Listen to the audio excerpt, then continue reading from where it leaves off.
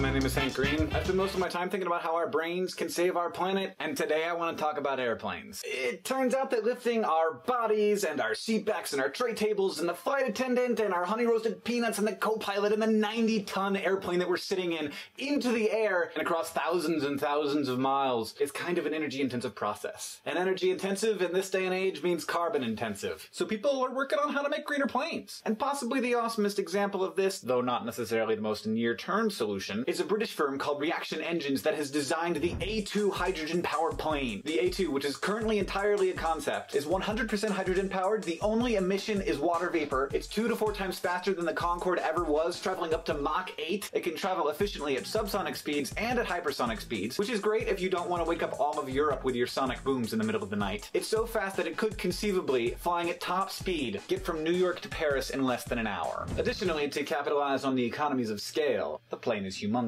It's almost twice as long as Airbus's A380, which is the biggest passenger plane ever to fly and it'll be able to carry about 300 people. Now obviously the coolest thing about the plane being powered by hydrogen is that the only emission will be water vapor.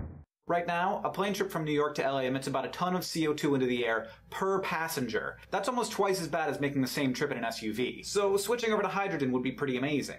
But that's not the only reason why they're interested in using hydrogen. It turns out that per pound, hydrogen can actually carry more energy than jet fuel. And since weight is a pretty important issue on airplanes, that's good news. They're actually saying that for the first time ever, it might be possible to fly a passenger plane from one point on the Earth to any other point on the Earth. Now, if only they could figure out a way for me to get from point A to point B without stopping at points C, D, E, F, G, and H before I get there.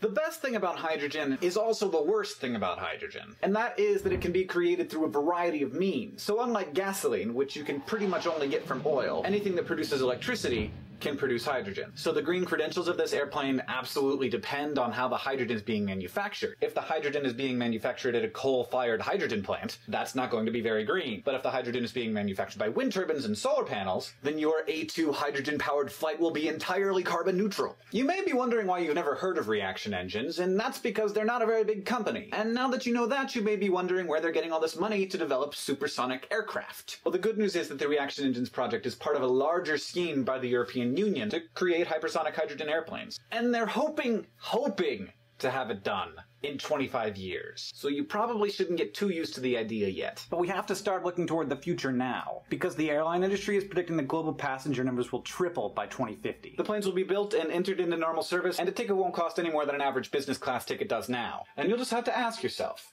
do I want to sit back in this nice posh chair for the next 14 hours? Or do I want to get on a plane in Paris and land in New York in two hours?